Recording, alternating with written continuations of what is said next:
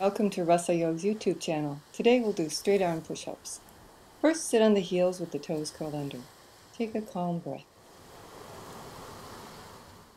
We'll bring the hands to the heart. Take one more calm breath, feeling your heart center. Namaskar breath.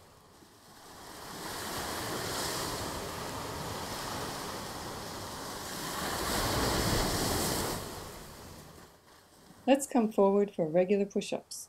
Start with the hips raised, feet apart about shoulder width, arms are straight, palms are about shoulder width apart or more. Now inhale, bring the chest down as close to the ground without touching it. Exhale, push up. Do 8 to 10 push-ups. You can do the less challenging version by doing push-ups on the knees. Watch our other video for those modified push-ups.